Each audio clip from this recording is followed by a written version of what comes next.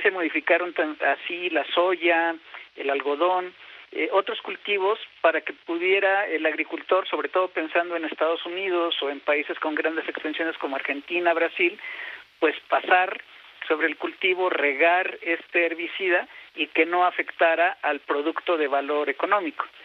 Eh, es por esto que siempre que se habla de glifosato, se habla de maíz transgénico, porque la mayoría de los maíces transgénicos, eh, cuando se siembran, y por eso están prohibidos aquí en México, eh, se siembran y pues se eliminan las malezas con este tipo de herbicida. Pero resultan, pero resultan, resultan eh, agresivos para la salud eh, eh, los maíces cultivados de esta manera. Hay aquí una, un asunto de índole económica y política, Antimio, estarás de acuerdo. La gran importación que hace México de maíz proviene entre otros países, principalmente de Estados Unidos. 4.700 millones de dólares, 4.700 millones cada año. Eh, ¿Qué maíz es el que traemos de Estados Unidos a México? ¿El maíz para alimentar al, al, ganado o el maíz para alimentar a los humanos? Al que México siempre se opuso. Y el canciller aquí o vuelve a mentir o significa que no entendió las negociaciones. Y no sé qué es más grave.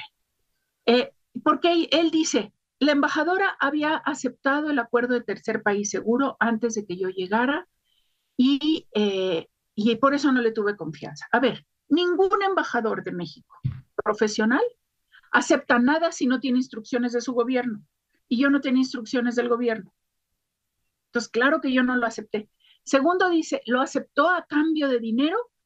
¿O quería que lo aceptáramos a cambio de dinero porque venía de Turquía? Precisamente porque yo conocía muy bien Turquía y el acuerdo al que llegó Turquía con la Unión Europea es por lo cual siempre me opuse al acuerdo de tercer país seguro y justamente negociaciones. A ver, exacto, tocas un punto clave, Marta Bárcena. Tú fuiste representante diplomática de México en Turquía, hoy país que está en, el, en la etapa de sufrimiento de toda índole. Eh, tú conoces muy bien el término. Eh, Turquía le abrió la puerta a refugiados sirios en su territorio. Estamos hablando de tres a sus hijos enfermos. Mira, Pepe, lo que nosotros hacemos desde nuestra, desde nuestra parte, de la parte de Casa de la Amistad, sí es apoyarnos mutuamente. El gobierno nos apoya a nosotros y te, te platico rápido. Eh, nosotros apoyamos 1.200 niños del sector salud, los apoyamos en el acompañamiento de su enfermedad, pero quien cumple con la labor de las quimioterapias y las medicinas es el gobierno. Entonces, lo que nos toca a nosotros en Casa de la Amistad es la parte la parte de acompañamiento, la parte de darles un consuelo. Cuando se presenta un tema de cáncer infantil y tú eres padre yo soy madre, es, es triste saber que llega un niño y le diagnostican cáncer. Lo que hace Casa de la Amistad a través de las trabajadoras sociales de los hospitales del sector salud, a los cuales apoyamos con 1.200 niños, es el 24% de los 3.000 niños que entran en los hospitales del sector salud. Los otros 2.000 de los 5.000 casos anuales están en clínicas del ISTE, del IMSS y hospitales privados, Pemex incluso. Pero lo que nosotros hacemos es mucho más lindo y es, y es mucho más... la ley del servicio exterior y ventile estas cosas que en su momento se pueden haber ventilado de manera interna. Ahora, años pasados, decir que se ocultó, que se mintió, pues me parece fuera de lugar para un miembro del Servicio Exterior mexicano. La embajadora es miembro del Servicio Exterior todavía, Alejandro Celorio. ¿Hay algún tipo de sanción contra ella por violentar la normatividad interna de los miembros de, del ejercicio diplomático nacional?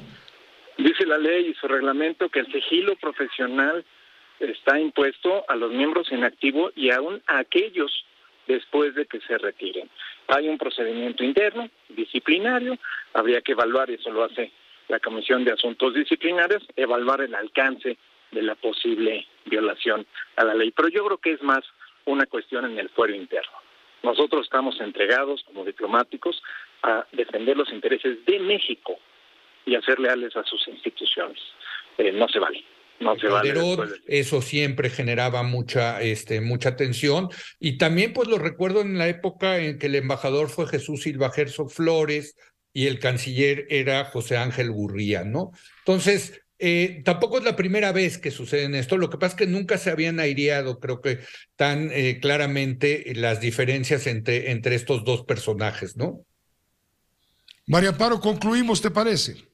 Claro que sí, Pepe. Eh, cuando hace su relato de cómo fueron las cosas en Marta Bárcena, que hace un relato muy puntual en tu entrevista y lo hizo durante el día y en sus redes eh, sociales, pues eh, tiendo a pensar que en efecto lo que ha ocurrido aquí, que como bien dice Leo, ya había ocurrido muchas veces antes, es a quién le da primacía el presidente. Marta Bárcena, por lo que nos platica, optó después de que descubrió que pues no iban los mensajes directamente al presidente López Obrador, optó Esta fue una producción de Grupo Fórmula. Encuentra más contenido como este en radioformula.mx.